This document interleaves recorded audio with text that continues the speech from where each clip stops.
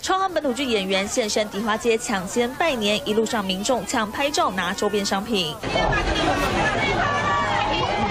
粉丝簇拥，演员们还直接当起叫卖哥、叫卖姐。买所有的朋友们可以跟我们说，我们一定会帮你们称斤称两，比原本的店价还要多拿一些给你们。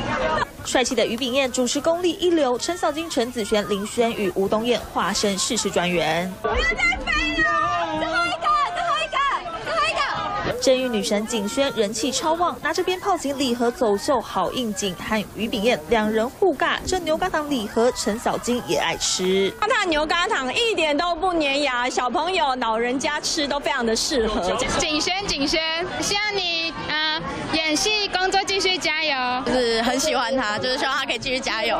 看到心目中的偶像，粉丝拿起手机狂拍。大年初四，演员们也将现身杨梅的牧场，跟大家一起过新年。祝所有抛下的观众朋友们新年快乐！三立新闻林玉哲、高顺宇台报道。